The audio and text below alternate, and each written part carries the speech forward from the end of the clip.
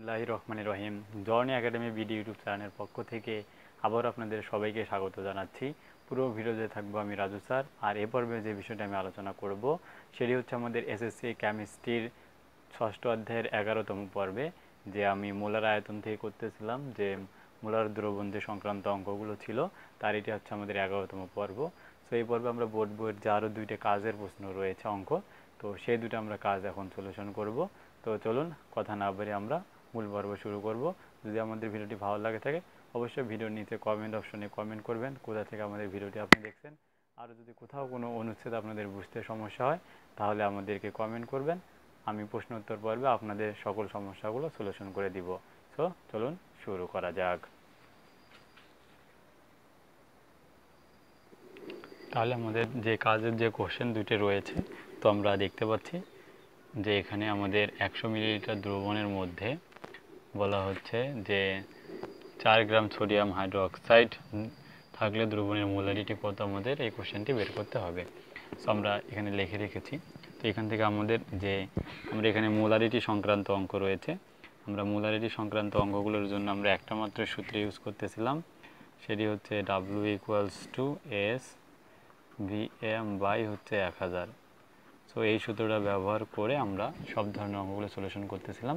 যা আপনারা আমাদের গত পর্বের ভিডিওগুলো দেখে বিস্তারিত আমার মনে হয় আপনারা বুঝতে পেরেছেন। তো এখানে আমরা সেই বিষয়টাই হচ্ছে আমরা এখন বের করে নিব। তাহলে এখান থেকে আমাদের ডাব্লু আমরা দেখতে পাচ্ছি যদি কোশ্চেনটা পড়ি, তাহলে এক হাজার মিলিলিটার তাহলে এক হাজার মিলিমিটার দ্রবণের মানটা কিন্তু এখানে বলা রয়েছে। তার মানে অর্থাৎ দ্রবণের যে আয়তন, সেটা হচ্ছে আমাদের ভির মান এখানে দেওয়া রয়েছে হান্ড্রেড এম এখানে চার গ্রাম সোডিয়াম হাইড্রোক্সাইড দ্রবীত আছে। অর্থাৎ যে চার গ্রাম সোডিয়াম হাইড্রোক্সাইড দ্রবীত রয়েছে, তো এটি হচ্ছে আমাদের তাহলে কার মান হবে? একটু আপনারা গেস করুন, দেখবেন যে অ্যান্সারটা আপনাদের চলে আসবে। তো কারণ এই টাইপের অঙ্কগুলো আমি আরও কয়েকবার আমি আপনাদেরকে করেছিলাম, তাই মনে থাকার কথা।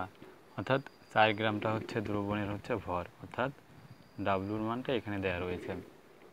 আর যে আমাদের ভরটা এম এর মান আসবে, সেটা এই সোডিয়াম হাইড্রোক্সাইডের মানটা আসবে। সোডিয়াম হাইড্রোক্সাইড যা হবে, সেটি হচ্ছে এখান থেকে এম এর মান আসবে। তাহলে দ্রবণের মোলারিটি, অর্থাৎ মোলারিটি এস এর মানটা আমাদের বের করতে বলা হয়েছে। তাই আমরা এখন দেয়া আছে মানগুলো লিখে ফেলব। দ্রবণের আয়তন V equals to hundred M এরপরে দ্রবণের ভর W equals to four gram এরপর এখান থেকে সোডিয়াম হাইড্রোক্সাইডের আণবিক ভর এম ইকুয়ালস টু এখান থেকে সোডিয়ামের ভর আমরা জানি হচ্ছে তেইশ সংখ্যা একটা অক্সিজেনের ভর আমরা জানি ষোলো, একটা, এবং হাইড্রোজেনের ভর জানি এক এক। সো এখান থেকে আমরা যদি যোগ করি, তাহলে ছয়, চার, নয় নয়, একে দশ, তাহলে তিন, চার, অর্থাৎ চল্লিশ। আমাদের বের করতে হবে এখন দ্রবণের molarity S equal to what তাহলে এরপরে আমরা কি বলব? যে আমরা জানি M W equals to S V M by এক হাজার। তো এখান থেকে আমাদের ক্যালকুলেশন করে মান বের করে নিয়ে আসতে হবে। তাই এস ইকুয়াল টু কী হবে?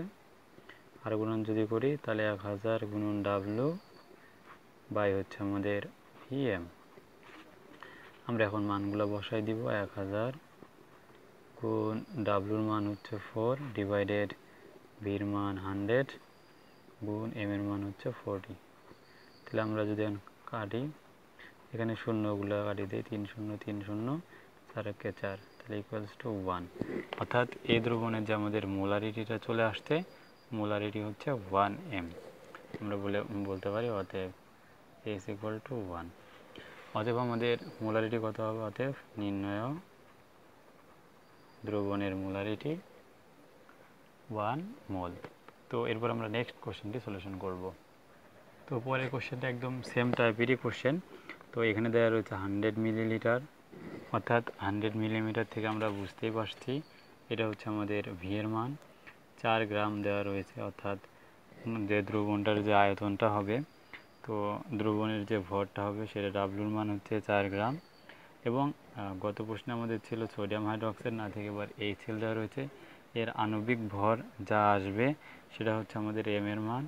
বের করা হচ্ছে মোলারিটি এস ইকুয়াল টু আমাদের ওয়াট তাহলে আমরা একটু আগেই ডিটেলস আমি লিখেছিলাম।